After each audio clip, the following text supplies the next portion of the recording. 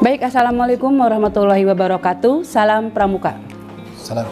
Kami dari TV Pramuka Kuarcap Kota Bogor.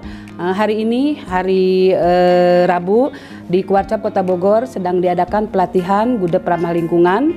Alhamdulillah ini adalah eh, terusan dari kegiatan ramah lingkungan eh, tingkat nasional. Di sini ada Kak Mustari. Eh, kakak apa aja yang eh, kakak bisa bicarakan tentang kegiatan gudeg ramah lingkungan di Kuarcap Kota Bogor ini kak? Silakan. Baik. Assalamualaikum warahmatullahi wabarakatuh. Salam Pramuka. Salam. Perkenalkan, saya Muhammad Mustari, SPDPD, uh, Korup Pelatih Kota Bogor.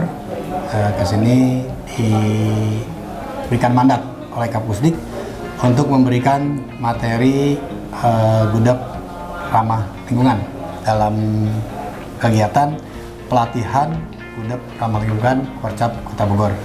Uh, saya memberikan materi ya walaupun tidak penuh tetapi insya Allah para peserta senang uh, men- menerimanya.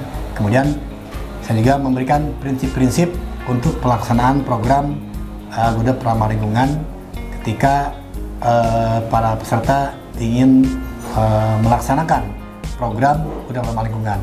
Dengan prinsip-prinsip tadi kemudian ada juga yang lebih penting lagi daripada prinsip itu sudah saya berikan kepada para peserta.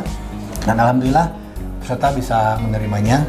Kemudian saya juga berharap eh, program udah ramah lingkungan di kota Bogor khususnya dan di Indonesia umumnya semakin berkembang semakin banyak eh, gudeg-gudeg yang memang ramah lingkungan. Supaya apa yang disebut pramuka peduli pramuka eh, patriot lingkungan itu menjadi benar adanya. Demikian. Assalamualaikum warahmatullahi wabarakatuh Baik, terima kasih Kak Mustari. Mudah-mudahan kegiatan ini eh, membawa dampak yang baik kepada peserta didik yang juga Kota Bogor khususnya ya Kak ya. Amin. Begitu saja. Wassalamualaikum warahmatullahi wabarakatuh. Salam Pramuka. salam